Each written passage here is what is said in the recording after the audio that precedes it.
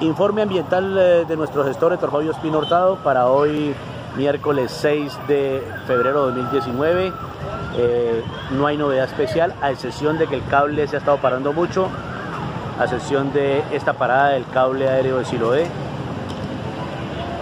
Hoy, 6 eh, de febrero de 2019, tenemos pues este clima fresco, algún viento fuerte, como ustedes pueden ver en la bandera. No hay novedad en cuanto a la energía, el acueducto, el alcantarillado. Las quebradas están en su cauce natural, aunque llovió esta mañana algo.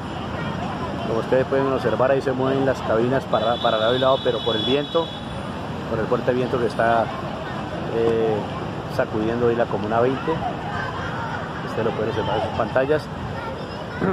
Este es el informe de riesgo, el informe ambiental de nuestro gestor Héctor Fabio Espino Hurtado, que nos dice que no hay ninguna novedad, que todo está tranquilo, a excepción de las paradas del cable.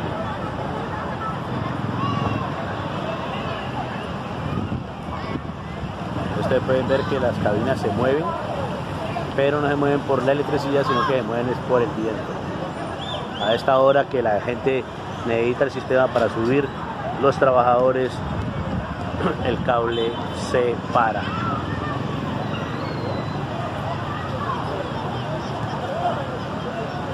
Este fue el informe ambiental, el informe de riesgo uh, físico acá en la Comuna 20 de nuestro gestor ambiental Héctor Fabio Espino Hurtado, que insistimos, no hay ninguna novedad a excepción de esta parada del cable a estas horas pico cuando más lo necesita la gente de la Comuna 20, de los barrios Tierra Blanca, Siloé Parte Alta, eh, Pueblo Joven, Lleras, Brisas de Mayo.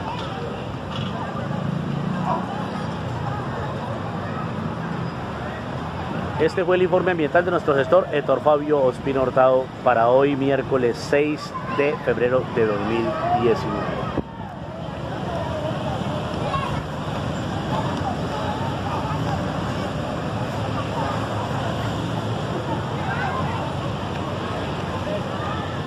Todo normal, viento, pero las cosas normales.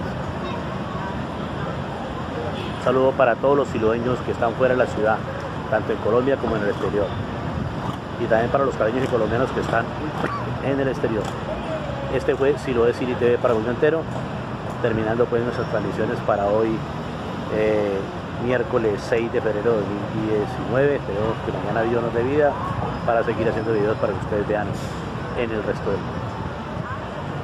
Con la bandera de Colombia más alta en la ciudad de Cali, nos despedimos de ustedes.